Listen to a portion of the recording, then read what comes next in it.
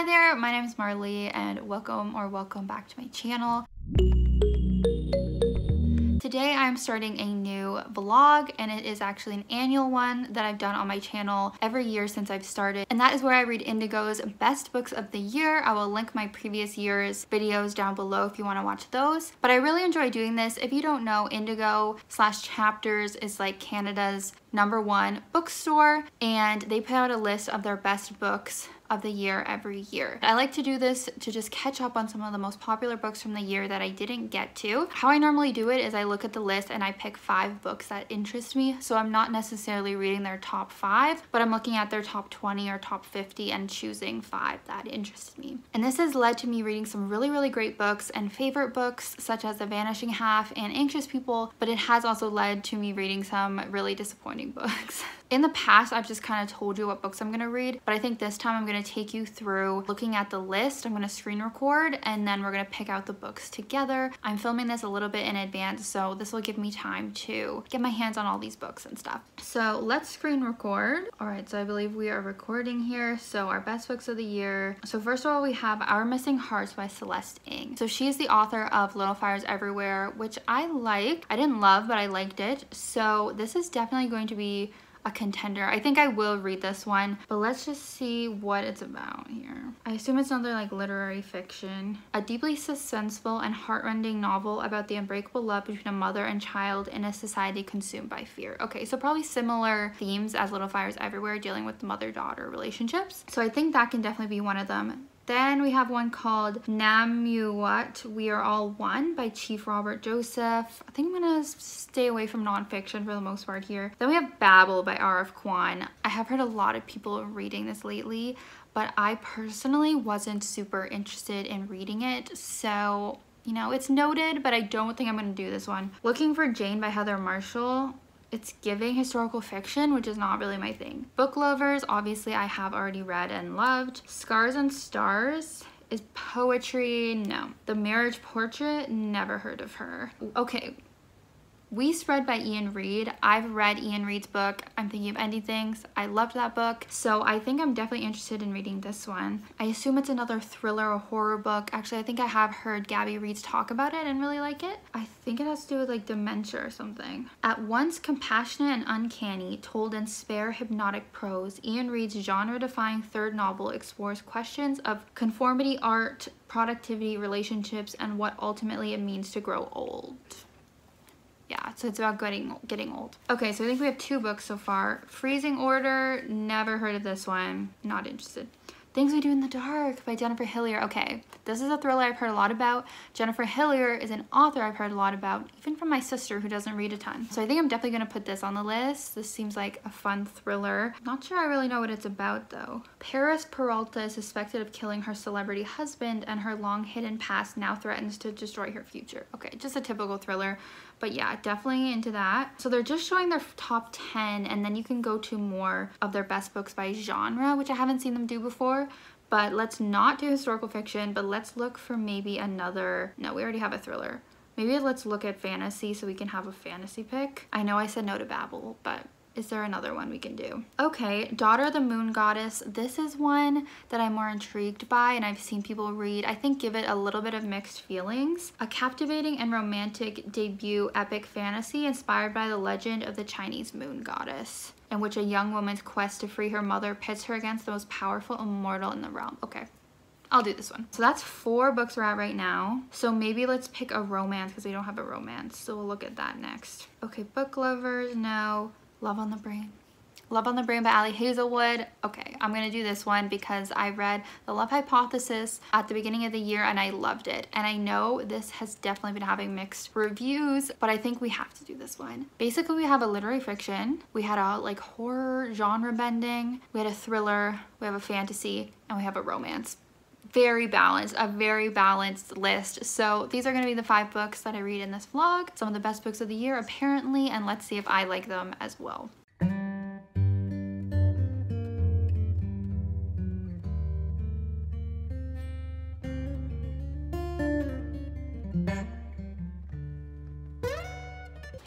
Guys, it's been a minute since I filmed that intro, but now I have started this vlog. As you can see, I have begun reading Our Missing Hearts by Celeste Ng, and I'm actually at the 45% mark. This is a book I really did not know much about going into it. As you saw from the intro, I kind of didn't know how to describe it because I have not heard people talk about it on BookTube, which is where I hear most of my recommendations. So I really was going into this pretty blind, but now I get it. Now I know what it's about. And I see what Goodreads meant by dystopian. It is a dystopian book, but it reads very much like literary fiction. For example, there are no quotation marks.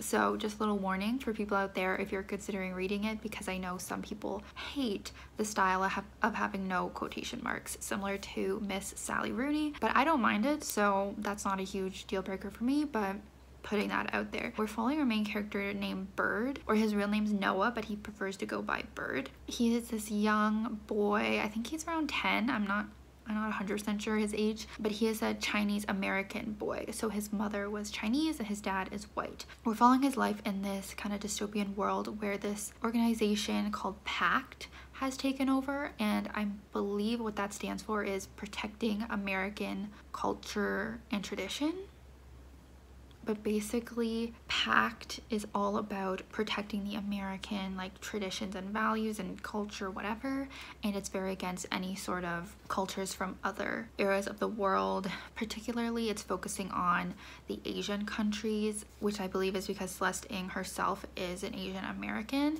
so it's really focusing on sort of racism towards asian people obviously pact is a pretty racist organization that yeah basically doesn't allow any sort of displays of any sort of like cultures that aren't considered American. But Bird, he's a kid growing up in this world, so he doesn't really understand and he's sort of being brainwashed by Pact. And his mother ends up leaving him when he's young, and we end up finding out that she's sort of like the ringleader for this rebellious group that is going against Pact. So, following a lot of kind of traditional dystopian tropes and trends, and his mother was a poet, so she had this quote or like this poem called Our Missing Hearts, and it is sort of used as a calling card for this group. And I believe it represents how a lot of children are being taken away from their parents, which is like their missing hearts, like their kids are being taken away. Another example is PACT is burning and getting rid of all of these library books so that people are not able to kind of like educate themselves and know what's going on or know about like history and stuff like that. Like they're very much controlling everything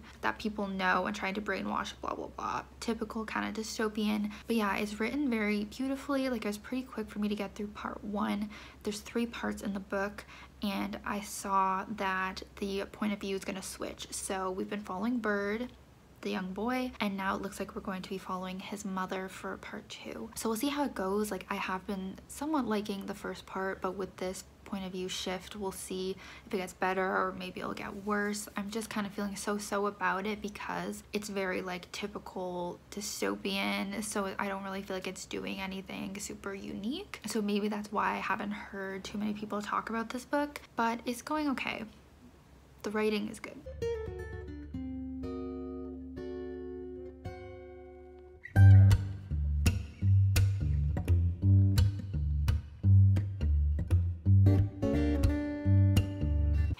So I finished reading Our Missing Hearts today. Unfortunately, I do feel like the second half was not as good as the first part. As I said, we did get into Bird's mother's point of view, and that allowed us to really explore what happened to lead to PACT being implemented. There was this thing called the crisis, which is what led to this sort of dystopian world. It's where, you know, the world got really bad financially and politically and blah blah blah. Like we just see how the world was going to shambles and then we see particularly what Bird's mom was going through how there became this certain like prejudice against China and anyone who looked like they could be from China. But it wasn't particularly like interesting and then we did have a third part at the end but it was pretty quick and kind of just wrapped everything up and I do feel like there was just really beautiful writing, some really beautiful themes that were explored, but I do think the idea was just way better than the execution.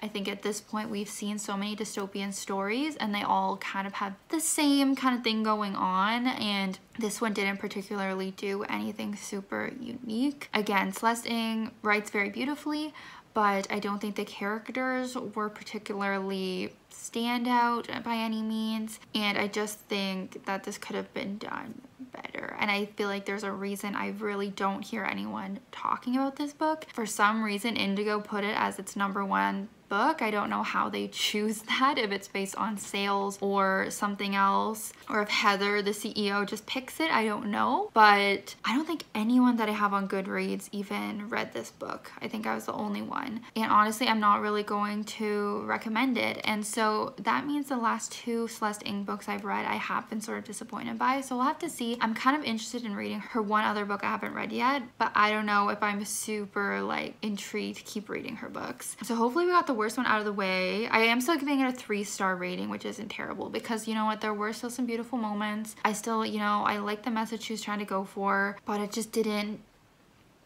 it just didn't deliver, you know, on I think what she wanted. So now I am excited to get into the next book. I think I'm gonna read Things We Do in the Dark next because I just really want to enjoy the next one and I have I have a good feeling about this one.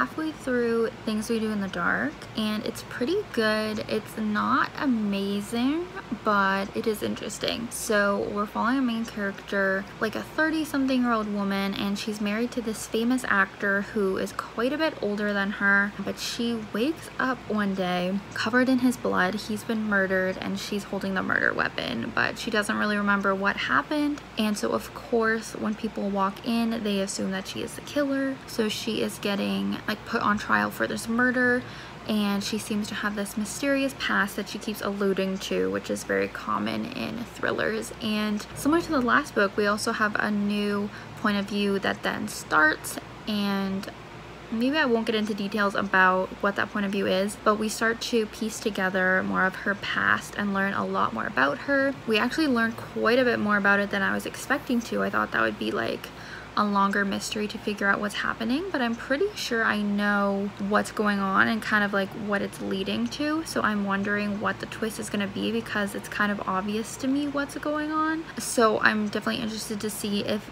there's any like surprises for the second half, but it is very dark. As you can imagine, she ran away from her past, made a new name, made a new identity and all that stuff. So she has a pretty dark past that she is running away from. There is a podcast element. So if you like reading thrillers with podcasts, you'll probably like this.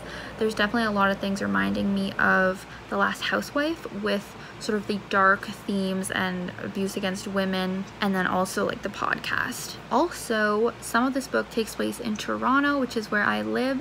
So I've been liking that and just sort of recognizing a lot of the references. Apparently this author is from Toronto as well. So that's why I think a lot of her books take place there. Our main character is also Filipino, or like half Filipino, half white, which author is as well. And I'm enjoying the writing and everything. It's kind of just like a typical enjoyable thriller. And I'm curious to see if there will be anything that makes it really unique or really good in the second half. Work holiday party today. This is the look. Another Christmas event. Alright, hey guys.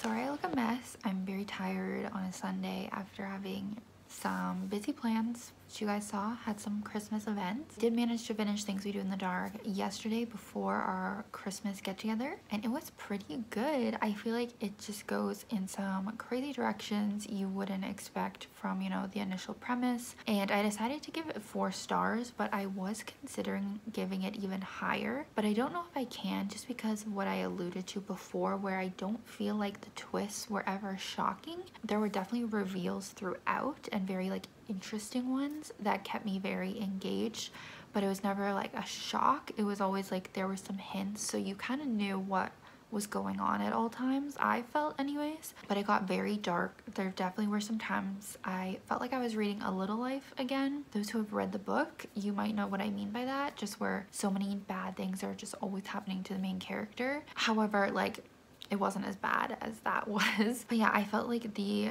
characters were developed really well i thought the plot was really well done and as I mentioned, I did really like a lot of those Toronto and just like Canadian references. And overall, I do just think this book was really well done. So that's why I give it four stars. But I think I just, I feel like I can't give a thriller a five unless it's like super shocking, like blowing my mind kind of thing. But yeah, definitely a great book. Would recommend. Today, I just want to do some things around the house, but otherwise, I want to start the next book. I'm going to do We Spread by Iain Reid, I think. Another kind of thrillery book to hopefully get through it quick because I feel like I'm a little behind in my reading plans this month. So we'll see you when I've started that.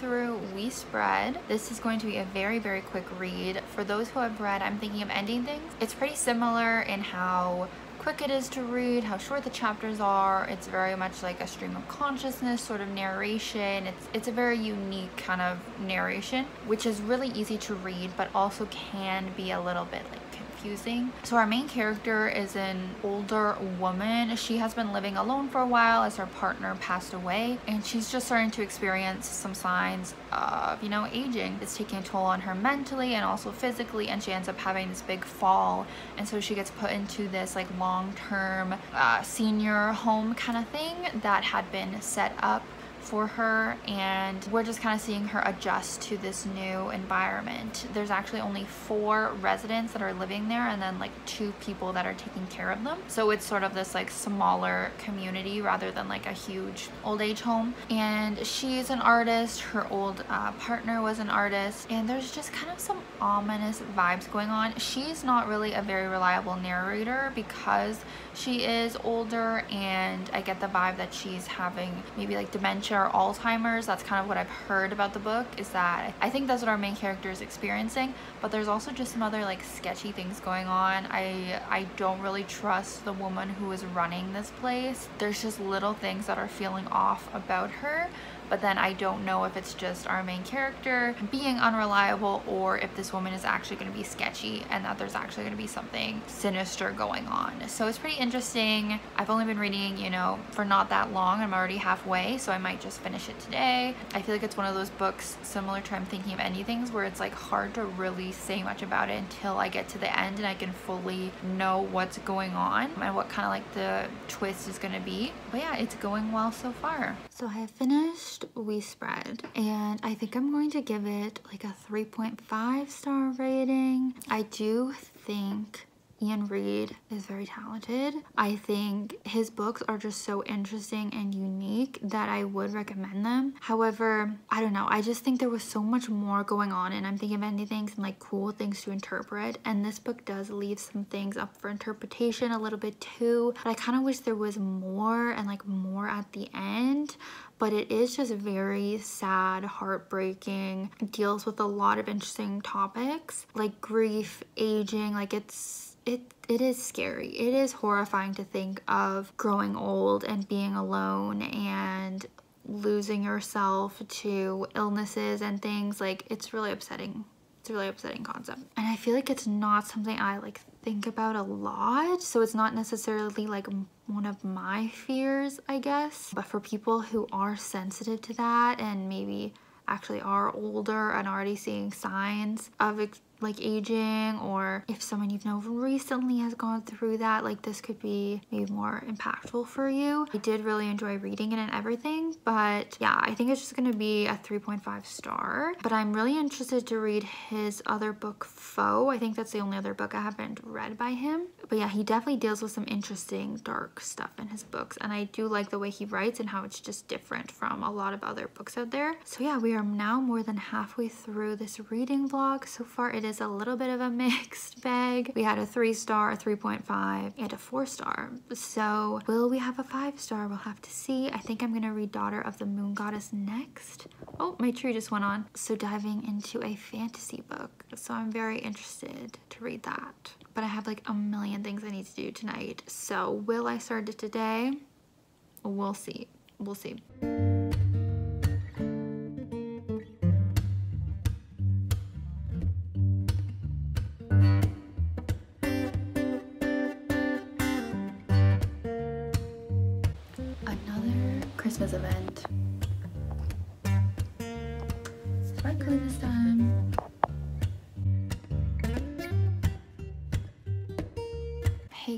It has been a minute, but I have finally reached the halfway point of Daughter of the Moon Goddess by Sue Lynn Tan. This is definitely a slow one for me. I'm kind of scared it's ruining my reading month a little bit, but immediately I, I started the book and I was like, oh no, this writing is not gonna be great. It's very flowery and I'm not saying I always hate flowery writing like purple prose or whatever it's called but in this one it was just like oh I'm bored. And I really am bored for a lot of it. You know, I was reading it on the subway on my way to work and normally I'm fine to read on the subway but I was like falling asleep when I was reading this one like it just was not keeping me awake when I'm reading it you know now or whenever I just find myself like not paying attention like my thoughts are just drifting off and then I have to like reread what I just read because I have no idea what happened. And it's kind of annoying because when I read I like to totally get sucked into the story and like distract from my life. Like that's why we read right? To like escape. And this one is just not pulling me in enough unfortunately but what it's about uh, I think I said in the beginning is that it's based on Chinese mythology and that's pretty much the only reason I am glad that I'm reading this is just to like learn a little bit more about Chinese mythology because I never have before. I of course have read a little bit about Greek, Roman, and Egyptian mythology, anything that like Rick Riordan has written. But yeah, so it's based on their myth of the moon goddess. But essentially we have our main character, Xing Yin, and she is daughter of the moon goddess yeah. And basically what the myth is with the moon goddess is that there was this woman and she was you know in a relationship with this man. Well actually i don't know how much the author changed it from the mythology, but this is what I'm getting from the book. Basically, the husband had earned this immortal elixir because he did something like this heroic act. But then Xing Yin's mother actually drinks the elixir and takes it for herself to be immortal. We find out it's because she was trying to protect herself and Xing Yin. But because she like stole this elixir, she is punished for it. So she is trapped in this kingdom or wherever she is and she's not allowed to leave. And Xing Yin is there with her. Her mother is not supposed to have given birth to her. Like she's kind of forbidden from being alive. Like the mom would get in trouble if the celestial Empire found out. So the catalyst of the story is that the celestial empress visits where the moon goddess is and she's kind of catching on to the fact that the moon goddess is hiding something which is her daughter Xing Yin. So Xing Yin in a typical kind of fashion has to go on the run and leave her mom, leave her home and just sort of fend for herself to protect herself because the celestial empire was gonna like come after her. So she's on her own. She has this goal that she wants to eventually save her mother from this imprisonment imprisonment. To do that, she ends up working as a maid for like royalty or whatever, like any job she could get. Oh, and so her and her mom are immortal and like immortals have powers. But I would say the book is not really great at exploring like what kind of powers they have or really delving into that. As I said, this writing super like flowery and stuff, but I wouldn't say it's like particularly great. Like things are just moving along so quickly that it's almost like I don't even get to like catch a breath. Like we're moving along so quick that I'm not even able to like enjoy each moment and fully like grasp what's going on. I'll get into an example, but basically Xing Yin is like crying over, you know, people treating her badly. And of course this man slash boy I, I don't know their ages but he comes across her and they're bonding and he like is super impressed with her or whatever and of course we find out he's like the crowned prince of the emperor empire or whatever. So of course the prince like has a thing for her and ends up helping her get into this competition that is to be his companion. And so normally it would be only like noble or like royalty that could do that, but he's like, I want her to be my companion. So she enters in this like these like trials. So I'm like, okay, this is gonna be like a fun little like competition book, you know? Like I love those. They're very popular in like fantasy and dystopian books. And then all of a sudden the competition's happening and all of a sudden it's over in like two pages. Like she has four different trials and they just go through them so freaking quick that I'm like, what is going like this could be a whole book in itself. Like we're just going through the plot so quick that it's kind of weird. Like it's it's fast paced, things are happening, but I don't care enough about it. I don't care enough about our main character. She's very like Mary Sue, chosen one, not like other girls, that kind of vibe. Yeah, the prince loves her. You can imagine she becomes his companion and then she just immediately is amazing at archery and she just like immediately is like this chosen one, amazing warrior.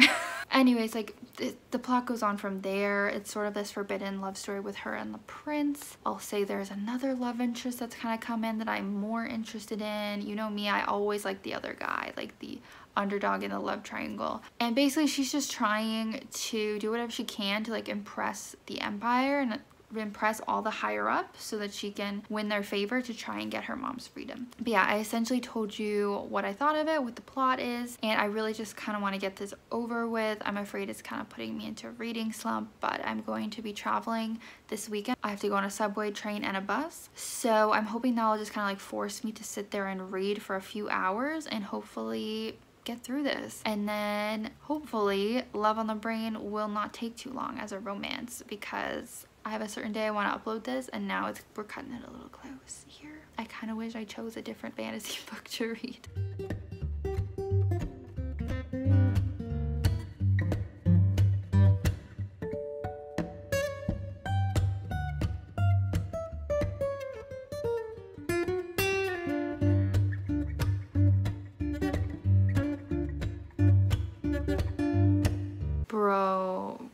Not me like hitting record accidentally and then I hit to stop recording when I thought I hit recording so then I just like did an update that wasn't recording.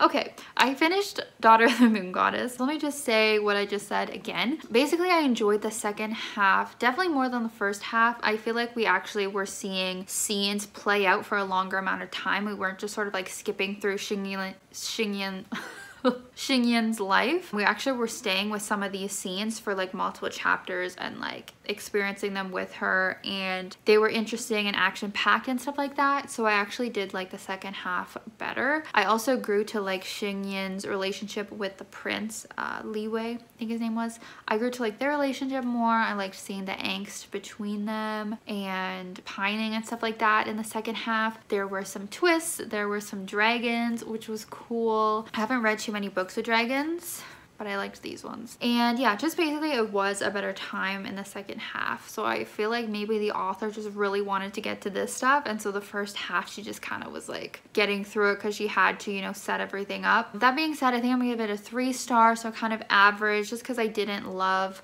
a lot of it like the first half but I do feel like it was a pretty solid read still. Probably a better match for like other types of readers than for me. I feel like there was so much focus on like the archery and more like the battle was more like combat like hand-to-hand -hand combat stuff or archery rather than like magical stuff. There wasn't like a ton of magic. And then apparently i'm pretty sure this is a duology. So i feel like things wrapped up really, really nicely in this first book. I'm kind of surprised there's going to be another one. However, I guess I will read it. I can see a little bit of what what could lead to a sequel. So I'll probably read that whenever. But I do feel like, you know, this was a solid story just all wrapped up together. So yeah, I finally finished it. Now, one more book. Can I read it in a day? Because I want to upload this on Tuesday and it's Sunday night. So we'll see. So yeah, definitely not my favorite book of the vlog, but I feel like I'm still happy that I read it because it is pretty different from a lot of the books that I read. This would definitely be a good fit for people who like reading mythology books, maybe who like Song of Achilles and stuff like that, like Madeline Miller's books.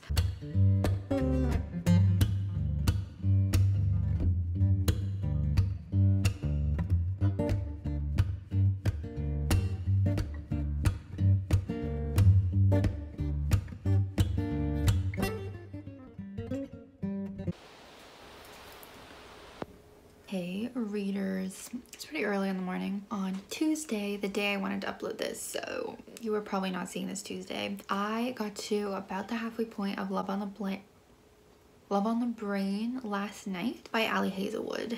And honestly, at first it was a little bit rough. I was like, oh no. There is definitely a lot of cringe. Miss Ali Hazelwood definitely adds some cringe into her books, but I feel like the last 25% I read was not as bad and I was definitely enjoying it quite a bit more. But there were just some things in the first little bit I wasn't loving. So if you don't know, this is following our main character Bee, who is a neuroscientist. As you know, Ali Hazelwood writes books about women in STEM, so that's great. But I was feeling like in the first part, it was focusing a lot on her job stuff and the science and everything, which is good, but it was just like very heavy and like I was just getting personally annoyed with what was going on. Like you were supposed to, like things were kind of not working out for Bee at the beginning and things were very frustrating. And yeah, as a reader, it's just really frustrating to read like she starts working on this new project and things are just not being done. It seems like someone's like almost gatekeeping her and trying to ruin her project kind of thing. And the partner that she has on this new project is Levi that's our main love interest. And so it seems like he is the one that's kind of working against her. That was just really bothering me and i was like i don't know how this relationship can be redeemed. There were some really not great things going on between them and they had a history of knowing each other and kind of working together or going to school together in the past. So in the past he did some things and said some things that made her think that he hated her.